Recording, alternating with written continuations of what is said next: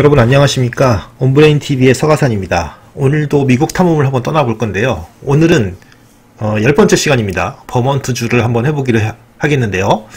오늘 북동부의 마지막 주입니다. 그래서 이제 내일부터는 좀 완전히 환경이 다른 곳으로 아마 남동부 쪽으로 가게 될 것 같고요. 예, 오늘까지는 아마 그 지금까지 했던 주와 대동소이한 모습이 아닐까 하는 생각을 하는데요. 예, 여러분 제가 이 지금 버먼트주로 여행을 하기 전에 혹시 제 채널의 구독자가 아니신 분들은 예, 구독을 해주시면 저에게 큰 영광이 되겠습니다. 그리고 이미 구독하신 분들은 대단히 환영합니다. 여러분 반갑습니다. 자 여러분 보시면 버먼트주는요 어, 진짜 미국 북동부의 전형적인 모습이네요. 이 단풍이 아름다운 단풍 보십시오. 산이 많고요. 그렇죠? 그리고 굉장히 깨끗하고 그다음에 그 삼림도 굉장히 울창한 숲을 자랑하고요. 그리고 또 미국의 북동부는요, 굉장히 유서 깊은 곳이 많죠. 네, 그런 특징을 그대로 보여주고 있는 것 같습니다. 한번 자세하게 좀 위치를 한번 살펴볼까요? 역시 이렇게 보시면요, 음, 여기가 미국의 북동쪽이죠. 여러분, 이 미국에 보면. 아, 미국이 진짜 어마어마하게 큰 나라입니다. 진짜. 상상을 초월합니다, 여러분. 아, 진짜, 이렇게 큰 나라에 살면 기분이 어떨까 이런 생각이 들 정도로. 여러분 보시면, 음, 재밌는 게요. 오른쪽으로는 이제 뉴햄프셔와 경계를 하고 있는데 보면 강이 이렇게 흐르고 있는 것 같아요. 이 강을 자연 경계를 삼아서 이것도 굉장히 제 보면은 엄청 긴 강인 것 같습니다.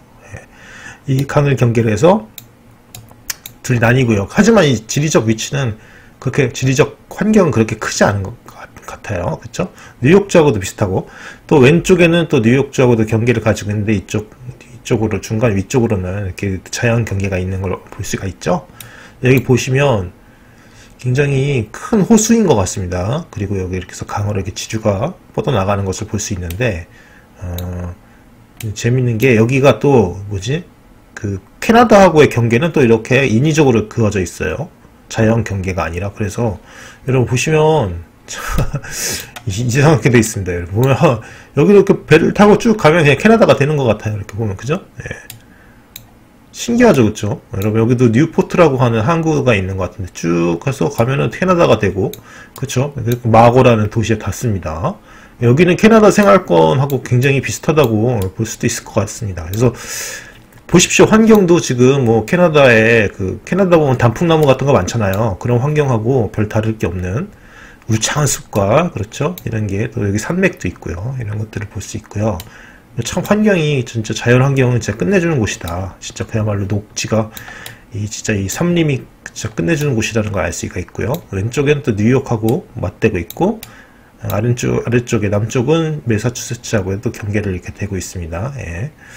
음, 그렇습니다. 그래서 여러분 뭐 여기도 북쪽은 이제 완전히 시골이고 여기는 뭐 남쪽도 시골이네요. 예. 남쪽도 시골. 제가 봤을 때 인구가 적을 것 같아요. 저 그렇게 큰 도시도 없는 것 같습니다. 예, 여러분 예를 들어서 뭐 어, 이렇게 메사추세츠 같은 데는 여기 서쪽은 거의 그 뭐 광활한 삼림이지만 여기 오른쪽에 보스턴이랑 큰 도시가 있, 있잖아요.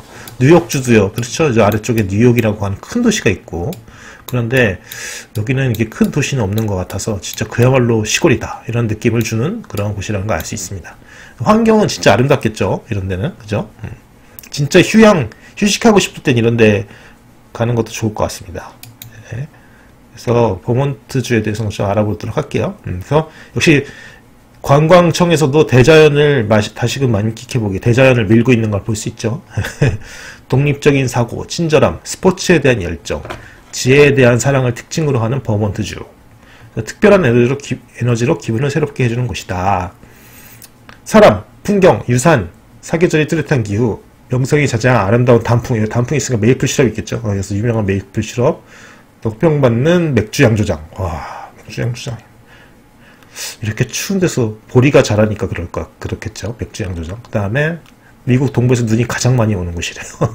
바로 Green Mountain State라고 불리는 버먼트주다. 그래서, 그래서 버먼트주 사람들은 역시 삼림이 울창한 것을 그 굉장히 자랑스럽게 생각하는 것 같습니다. 그리고 또 산을 배경으로 한 친환경 농지가 형성되어 있고요. 또 능선을 따라서 미국 최초의 장거리 하이킹 trail인 Long Trail이 탄생했다. 와 여러분 이 버몬트 주 진짜 남북으로 이 길게 뻗은 이 능선을 따라서 여행을 하면 진짜 장엄한 자연을 느낄 수 있겠네요. 그리고 매우 오래된 그린 산맥은 빙하기를 거쳐서 현재의 모습을 갖추게 되었다. 그리고 버몬트주에서는 황강한 대리석, 전파람 등의 돌과 활석 같은 광물이 채굴되고 있다. 되게 지리적으로 지질학적으로 봤을 때도 여러 가지 이렇게 광물들이 있나 봐요. 대리석도 있다고 합니다. 또 해발 600m 이상의 높이의 산이 220m, 220개가 넘는답니다. 아, 대단하네요.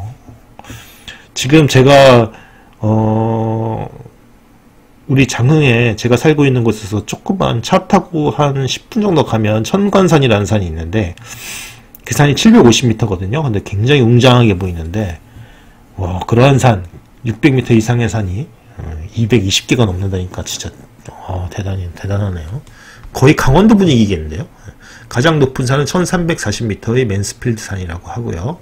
그 다음에 대부분 울창은 숲으로 돼 있고 그렇다고 합니다. 어, 그래서 여러분 여기는 역시 관광하기보다는 뭐 요양이나 휴양하러 가면 진짜 좋겠는데요. 예. 그래서 어, 산과 구릉지대 아래 형성된 비옥한 계곡에서는 풍부한 낙농 제품, 그러니까 소 같은 거 놓아서 기르겠, 기르겠죠. 농작물, 채소, 과일, 말, 소, 염소, 에뮤, 와, 호주, 어, 에뮤로 굉장히 큰 새 있거든요. 어, 날지 못하는 새입니다. 예. 그래서 뭐 farm to table 레스토랑 같은 것도 있고 치즈 제조업자가 있고 완전히 그러니까 시골 분위기는 시골 그죠? 그 다음에 어, 수제 맥주장 맥주 양조장이 굉장히 많다고 하니까 여러분 여기 가면 맥주 좋아하시는 분들은요, 그러니까 어, 자기가 개인들이 양조하는 그러한 맛있는 맥주 그런 걸 마실 수 있을 것 같습니다. 야 이거 대단하겠는데요. 예. 그 다음에 버몬트 주에서 간단하면서도 꼭 해봐야 할 것은 아름다운 풍경을 즐기면서 하루를 보내는 것이다. 그래서 트레킹이라든지 뭐 이런 거, 하이킹 같은 게 굉장히 잘 되어 있는 것 같습니다. 그리고 또 유서 있는 조용한 마을에서 또 조깅하거나 산책하는 것도 좋고 이거는 굉장히 이렇게 되게 그 온, 온화, 온화하고 이렇게 조용하면서 고요한 거 좋아하는 분들은 진짜 최고겠네요. 와. 글 쓰는 사람들한테 이렇게 되게 한, 한 달 정도 딱 가가지고 어디 홈스테이 같은 거 하면서 딱 하면 좋겠네요. 세계적인 장인의 작업실을 방문해보고 그들의 작품도 구경해보세요. 야, 난 박물관 같은 것도 많은 것 같고요. 또 저기 뭐 아까 전에 호수가 있었잖아요. 큰 호수 이런 데서 낚시를 즐기거나 또 어, 주립공원의 해변에서 수식을 취해도 좋다. 만약에 그 겨울에 겨울 스포츠 눈이 많이 온다 그러니까 겨울에도 잘 돼 있겠죠. 음. 그렇다고 하고요. 그 다음에 재미있는 사실 메이플의 제왕 버몬트주는 미국 전체 메이플 시럽 생산량의 35%다. 와 역시 캐나다랑 가까이 있으니까 캐나다 메이플 시럽으로 유명하잖아요. 어, 그러니까 침엽수가 많다는 이야기겠죠? 아닌가요? 아, 단풍나무가 많고 그렇게 단풍나무 좀 추운데 살지 않습니까? 예, 그런 것 같은데 예. 침엽수도 많고 그렇겠죠? 자, 꼭 가봐야 될 곳. 킬링턴 스키 지역. 어, 스키 좋아하시는 분은 이런데 겨울에 가면 좋을 것 같고요. après après ski. après ski. 네, 스키 뒤풀이래요. 어, 이게 뭘까요? 음, 참, 참 재밌다. 이런 별거 다 있네. 그 다음에, 와, 이거는 무슨 뭐, 공원 같은 건가 봐요. 어, 이거 무슨 그게 있네. 오벨리스크가 있는데요. 어, 1777년 베닝턴 전투. 음, 라는 게 있었대요. 독립전쟁의 판도를 뒤바뀌었다는데요. 와, 음, 이렇게 추운 데서도 전투하면, 어우, 군인들 고생 많았겠습니다. 그 다음에, 와, 이거는 되게 옛날 농장 같은 그런 거죠. 와. 야, 이건 진짜 거, 근데 농장인데 이렇게 되게 성처럼 지었네요. 어. 그래서 동물원 산책로 등이 마련, 되어 있다. 5.6제곱킬로미터다. 어, 그런 데도 있고. 그 다음에 여기 고풍스러운 옛날 저택들도 있군요. 록펠러 국립역사공원. 야 어, 그래서 유명한 세 가문이 살았던 19세기 저택이 있대요. 어. 이런 데서는 진짜 부자들이 되게 뭐라 그러죠 속세를 떠나서 살 이렇게 조용하게 살고 싶을 때 이런 데 진짜 최고일 것 같지 않습니까? 일단 맨스필드 산에 천, 뭐, 뭐, 뭐, 천백 미터라고 했나? 천삼백 미터라고 했나? 그죠? 예. 예. 그 다음에 여기는 trail을, 뭐, 이렇게, 등반할 수 있게 돼 있는 것 같고요. 그 다음에, Church Street Marketplace라고 해서, 와, 이건 되게 조그만, 조그만 수공예품 같은 거 파나 보네요. 예쁜 거. 음. 재밌다. 어, 벌링턴이라고 하는 도시에 있나 봐요. 벌링턴이라는 도시가 주도인가 보죠. 예. 좀 이따 한번 살펴봅시다. 예. 그다음에 버먼트주 의사당. 와, 되게 아름답네요. 아, 진짜 아름답네요, 여기. 와, 진짜 미국스럽다. 그리고 그쵸? 이렇게 보면. 야, 워싱턴에 이런 건물 비슷한 것 같아요. 그죠? 여러분. 그래서 의사당이라고 되어 있네요. 음, 미국에서 가장 잘 보존된 주 의사당이래요. 1859년 건축됐다네요. 야 그래서, 야, 진짜 이렇게 가을에 보면 기가 막히게 아름답겠네요. 야 와, 진짜 멋있다. 야, 이런 데도 대단하네요. 야, 이거 타는 듯한 이 단풍. 진짜, 야, 엽서에서나 나올 것 같은 아름다운 풍경인데요. 와, 너무 예쁘다. 목조로 돼 있는 것 같아요. 방갈로 같죠? 산장이라네요. 어, 유명한 가수 가족이 1950년대에 미국으로 이민 후 정착한 곳이래. 여러 가지 할 수 있다는데요. 예. 와, 여기는 호수인가 보다. 아, 이 깨끗한 호수와 주변 유역이 왜 그렇게 유명한지 직접 확인해 보세요. 여러분, 이 보세요. 물이 얼마나 깨끗하면 그냥 하늘을 그냥 그대로 반사하네요. 와, 진짜 너무 아름답다. 그래서 낚시 또는 조류 관찰, 자전거 trail 하거나, 와, 진짜 이런 데 자전거 타면은 기분 기가 막히겠다. 그리고 마지막으로 어디입니까? Peace Love Ice Cream이 뭐예요? 아이스크림 공장인데 워터베리에는 버몬트 주에서 가장 맛있는 곳이 있습니다. 바로 벤앤제리스의 유명한 아이스크림 만들어지는 공장이다. 야, 재밌네요. 그렇죠? 그래서 여기가 버몬트 주는 굉장히 야 이거 그런데 어 버몬트주만 보기보다 이렇게 가서 무슨 여기서 메사추세츠 갔다가 버몬트 갔다가 한다든지 이런 식으로 하면 좋을 것 같지 않습니까, 여러분? 그렇죠? 야 이렇게 그 관광 어떤 게 유명한지 좀 대충 알아봤고요. 이제 버몬트주에 하면 역사 같은 것에 대해서 한번 알아볼까요, 여러분? 볼까 한번.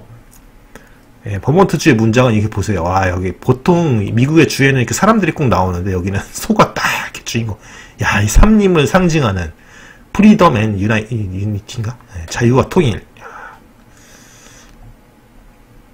야, 그래서 여기 여러분 여기 있습니다. 그렇게 큰 주는 아닌데 뉴욕주나 메사추세츠주 같은 데서 비, 아 메사추세츠가 아니라 뉴욕주나 어디지? 어, 뉴저지주 이런 데에 비하면 뉴저지주랑 거의 비슷하네요. 그죠? 뉴저지주 이게 뉴저지주거든요. 여기가 뉴저지주랑 뉴햄프셔주랑 뉴, 뉴저지주랑 면적이 좀 비슷한 거 조금 작, 작은 것 같네요. 예. 뭐 그렇고요. 음. 자 봅시다. 여기 가면서 보십시오. 주도는 몬트필리어라는 데고 주 어, 주도 두 개가 있네. 벌링턴이라는 데가 또 있네. 예, 이렇게 돼 있고요. 음, 완전히 다 그냥 그죠? 여기 내륙이 있는 걸 알 수 있죠. 어. 우리나라 보면 충청북도 같은 데인가? 어쨌든 뭐 그런 거고요. 그래서 어, 별명은 Green Mountain State고 주명은 그, 프랑스어로 푸른 산을 뜻하는 레 베르몽에서 유명했다. 아, 그래서 버, 베르몽에서 버, 베르몽이 버몬트가 된 거군요. 어. 그래서 버몬트주의 가운데로 솟아있는 산맥 이름은 영어화해서 Green Mountains가 되었다. 음, 그렇군요. 주도는 몬트필리어, 최대 도시는 벌링턴이다. 자연지리, 어, 미국 동, 오대호를 제외하면 가장 큰 호수인 샘플레인 호. 여기에는 챔프라는 괴물이 산다고 전해지고 있다. 와 진짜일까요? 여러분 여기 아닌가 여기? 여기? 이 호수? 이거 챔플레이노 그죠? 이거 샘플레이노인가? 샘플레이노 샴플레인 샴플레인이네요 샴플레인 그리고 음, 이 호수의 물은 북쪽의 캐나다 쪽으로 가서 세인트 로렌스 강으로 가고 동쪽에는 뉴햄프셔와의 경계 그 다음에 남쪽으로 흐르는 코네티컷 강이 흐른다. 음, 그렇군요. 그렇다는 거고요. 그 다음에 냉대 기후 지역에 속하고 겨울에 눈이 많이 내리고 여름은 서늘하다. 음. 북쪽으로 캐나다 퀘벡주와 국경 접하고 동쪽으로는 뉴햄프셔주. 이건 아까 전에 말씀드렸죠. 어, 대한민국과 비교하면 충청남도, 충청북도, 전라도를 합친 것과 비슷한 크기래요. 음. 어, 그렇구나. 웬만한 주가 대한민국보다 큰 미국에서는 좁은 주로 통한다고 합니다. 어, 면적 순위는 50개 중 45위. 어, 그렇네요. 여기에 더비 라인인데 북위 40도를 기준으로 일직선으로 미국과 캐나다 그 국경선이 국경선이야. 그렇죠. 인위적이던데요. 아까 전 보니까 완전히 직선으로 뿅 걷잖아요. 그죠? 어. 문제는 이로 인해서 오페라 하우스 하나가 소위 말하는 국경의 집이 되어버렸다. 그래서 무대는 캐나다 땅이고 객석은 미국이다. 와 이거 진짜 미국 쪽에서 캐나다 쪽을 바라보면서 캐나다 땅에서 연기를 하는 연기자들을 바라보는 꼴이 되겠네요. 그래서 원래 국경선 상관없이 자유로이 오페라 하우스 내에서는 왕래가 가능했지만 9.11 테러 이후에는 캐나다 쪽 앞문으로 들어갔다가 미국 쪽 뒷문으로 나오면 국경 무단 침입으로 벌금을 물어야 할 만큼 경비가 성공해졌다고 해야지. 야, 너무 이거 과잉 반응 아닌가요? 즉 들어왔던 문으로 다시 나가야 한다는 거네요. 참 가슴 아프다 이러는 거죠. 그다음에 원래는 아메리카 원주민 이로쿼이 연맹이 거주하는 지역이라고 하네요. 아 진짜 평안하게 살고 있는 또 아메리카 원주민들도 쫓아버렸겠네. 프랑스 탐험가가 처음 방문하였고 프랑스가 권리를 주장했지만 음, 프렌치 인디언 전쟁에서 프랑스가 영국에서 패배한 뒤 영국의 소유가 되었다. 이런 거 많더라고요. 프랑스가 원래 소유였는데 영국이 가져갔다 뭐 이런 거. 어, 그 다음에 영국 식민지였던 뉴욕과 뉴햄프셔의 허드슨 강과 코네티컷 강 사이에 명확하지 않은 경계로 분쟁이 있었다. 그래서 결국 이 사이 1777년 아예 공화국으로 독립을 선언했다. 아까 전 1777년에 무슨 유명한 전투가 있었다고 그랬죠. 어, 그렇다고 하고요. 그래서 어쨌든 1777년에 공화국으로 독립을 선언했고 독립 승인은 1783년에 되었다. 어. 그리고 북아메리카에서는 최초로 헌법에 노예제 금지를 규정했다. 역시 북부지방이니까 그렇죠. 노예제 반대에 적극적이었다는 거알수 있네요. 그 다음에 미국 독립전쟁에도 참여했지만 뉴욕에서 떨어져 나갔다는 이유로 뉴욕과 주치 못한 관계였다. 어, 야, 옛날에는요, 같은 미국이라 하더라도 이 주 사이에 이런 갈등이 있었다는 걸 알 수 있죠. 어, 그 당시엔 그랬겠죠. 예. 왜냐하면 그 당시에 점차, 점차 미국이 영토가 넓어져 나가던 단계였잖아요. 그래서 워낙 넓으니까 다음에 뉴욕의 반대로 미국 독립을 위한 대륙 회의에도 초청하지 못했다. 아메리카 합중국 성립에도 참여하지 못했다. 좀 왕따당한 기분이 있네요. 그죠? 응. 그래서 원래는 독립 13주에 속한 영역이었지만 미국 건국 당시에는 13주에 포함되지 않는 지역이 됐다. 약간 좀 약간 왕따당한 느낌이 있네요. 그죠? 예. 그리고 아메리카 합중국이 건국된 후에 예, 새로운 구성주로 편입돼서 14번째죠. 바로 그냥 편입을 해버렸네요. 그죠? 그 다음에 계속 노예제에 반대하고 그 다음에 어, 남북 전쟁 때는 연방군 진영의 북부 연방군에 그죠? 그다음에 남북 연합군이 이곳까지 쳐들어와서 이 전투를 벌이기도 했다. 아까 전에 그 천, 아까 전에 그런 어, 1864년에 약 25명의 어, 남군이 캐나다 방면으로부터 세인트 올본스를 기습 점령하는 의견도 들어갔다. 어쨌든 그렇고요. 인구는 한 60만 명이니까 또 되게 적네요. 인구 밀도도 적겠다 그러면 그죠? 인구 약 57만인 와이오밍 주만 버몬트 주보다 인구가 적다. 음. 그런데 와이오밍 주는 석유 산업 등으로 인구 유입이 활발한 데 비해서 버, 버몬트 주는 10년간 고작 2만 명도 못 증가했다. 어, 조금 있으면 와이오밍 주에 추월당할 가능성이 있다. 어, 야, 그러네요. 음, 그래서 어쨌든 인구가 굉장히 적은 곳이다. 미국에는 버몬트주보다 인구가 많은 도시만도 그죠 도시 도시 이건 주잖아요 도시만도 20개가 넘는다고 하죠 어. 한국에서는 청주시 전주시보다 조금 적은 안양시급의 인구랑 비슷하다 이야 한국에도 버몬트주보다 인구가 많은 도시가 10개가 넘는다 뭐 그렇다고 그 다음에 많지 않은 인구가 한 지역에 집중되지 않아서 그러니까 진짜 인구 밀도 엄청 낮겠다 어. 인구는 주로 서쪽 지방에 많다네요 그 다음에 주민은 95%가량이 백인이라고 하네요. 그래서 가장 하얀 주의 하나다. 어. 그리고 백인주에서 북쪽에 보면 캐나다랑 가깝잖아요. 근데 퀘벡주니까 퀘벡주는 프랑스인들이 많아 프랑스계가 많거든요. 그래서 그집 많이 비중 차지하고 어, 그 외에는 영국과 아일랜드가 대다수다. 음. 그 다음에 흑인과 히스패닉 비중이 가장 낮대요. 어. 그리고 산업은 소규모 농업과 공업이다. 굉장히 조용하고 그죠? 별 그런 그런 역동적이기보다는 평온하고 조용한 중근이죠. 예. 그리고 경치가 아름답고 북동부 대도시에서도 멀지 않아서 관광업이 발달돼 있다. 예, 아까 전에 보면 뭐 메사추세츠주하고도 가깝고 경계를 대고 있고 뉴욕주하고도 가까우니까 예. 그렇습니다. 그 다음에 인구 규모가 적다 보니 경제 규모도 작아서 GDP가 50주 가운데 꼴찌다. 아. 그리고 뭐 그런 이야기가 있고요. 그 다음에 뭐 그렇고 그 다음에 정치는, 예, 근데 어디, 이거, 백인이 많으면 약간 공화당 파일 수도 있다는 생각이 드는데, 어디 볼까요, 한번? 남북 전쟁 직전인 1856년 이래 유난스럽게 공화당 지지세가 강한 곳이었는데, 민주당, 최근에는, 어, 민주당 지지세가 강한 곳으로 탈바꿈한대요. 어. 그럼 백인이 많으면 좀 공화당 쪽이 많은 것 같더라고요, 보니까. 예. 예, 그렇다고 하고요. 그 다음에, 어, 그 다음에 1990년대 이후부터는 민주당 세력이 강을 보내 보이고 있다고 하네요. 예.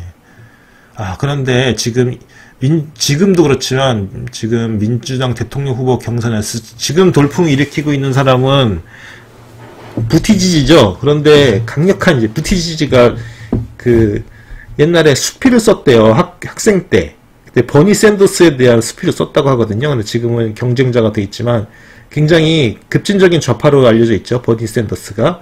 네, 버몬트주의 상원의원이구나. 그렇군요. 음. 그래서 버몬트 진보당이라는 당이 버몬트주에서 뭐 활동하고 있는 사회주의 정당이 있대네요. 음. 버니 샌더스는 벌링턴의 시장에 당선된 적이 있군요. 음, 그렇군요. 음. 뭐 그런 게 있고요. 쭉. 그 다음에 버몬트 주지사는 다른 지역 주지사와 달리 임기가 2년밖에 안 된답니다. 그래서 절반밖에 안 된대요. 음. 참 신기하네요. 미국엔 주마다 도 다르네. 왜 그럴까요? 그래서 여기서 어, 아 샌더스는 그러면은 그러겠다. 버몬트 주는 만약에 샌더스가 경선에서 승리해가지고 대선 후보가 된다 그러면 음, 민주당을 또 찍, 겠네 그죠? 그 다음에 총기 법률이 미국에서 가장 관대하대요. 오, 야 완전 깡촌인데 그죠? 왜냐하면 버먼트가 독립국이었던 시절부터 법적으로 무장해서 버먼트를 스스로 지킬 권리를 명시했다. 여러분 생각해보면 그럴만도 하네요. 왜냐하면 인구 밀도가 작고 그러니까 그쵸. 어, 굉장히 그 황, 황량한 넓은 곳에서 엄청 불안할 거 아니에요. 누가, 누가 언젠가 쳐들어올까 뭐 이런 생각도 할 수가 있고 그죠? 어, 그리고 또 워낙 깡촌이니까 여러분 보면 살림이 울창하잖아요. 그러니까 사냥 뭐 이런 거. 아웃도어 스포츠 전공통이 강세다 보니 총기 구매에 허락받을 부분보다는 규제받는 부분을 먼저 세워보는 게 빠르다. 음, 어, 여기는 사냥하는 사람도 많겠네요. 어. 야, 기관총이나 59경을 넘는 총기도 자유롭고 권총의 은닉 휴대에 허락을 받을 필요도 없다. 그래서 open carry든 concealed carry든 규제하지 않는 관점을 가리키는 Vermont carry라는 말이 있을 정도네요. 야. 그런데 이, 야, 이런 건, 여기는 벽촌이니까, 뭐, 총, 총기를 뭐 규제하지 않는다, 이런 게 있어도, 도시 같은 데는 좀, 총기 규제했으면 좋겠습니다. 그죠? 그 다음에, 어, 이게 뭐, 뭔지 모르겠네요. 버몬트 Lake Monsters 이거 NHL이라고 해서 하, 하키인가 보죠. 예. 음, 하키 하키인가 봐요. 그다음에 그렇죠. 그다음에 기타.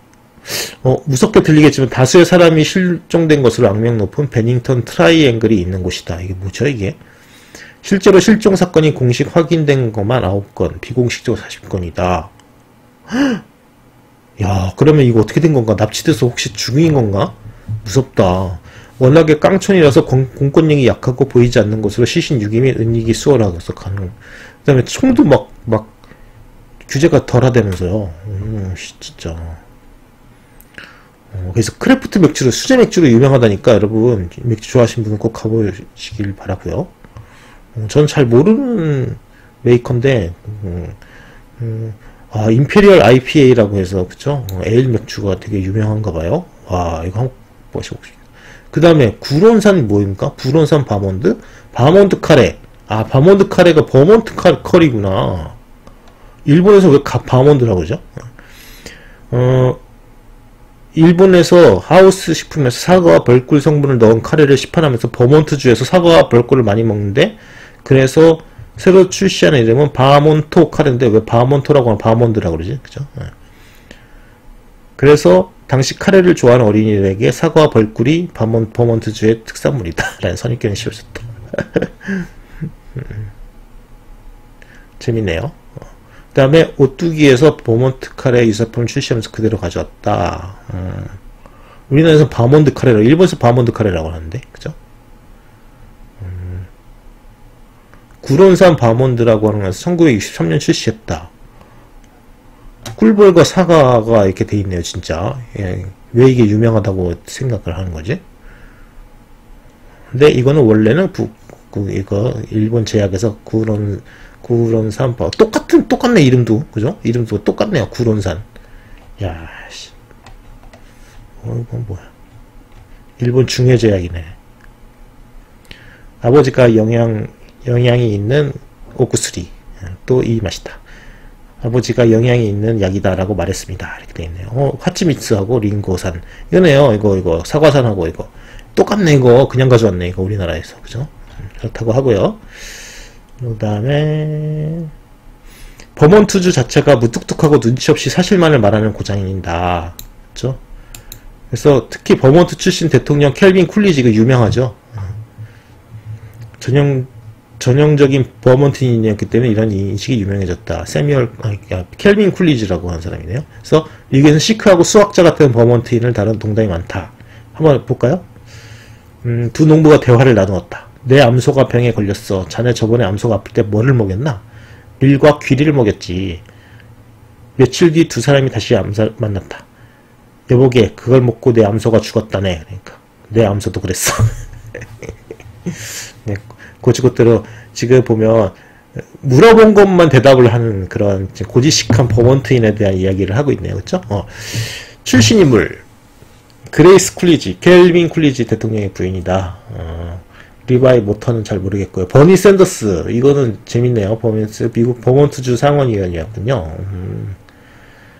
그리고 켈빈 쿨리지 아까 전에 얘기한 그 아 여러분 테드 본디라고 하는 사상 최악의 살인마인데 그죠? 어, 여기 출신이네.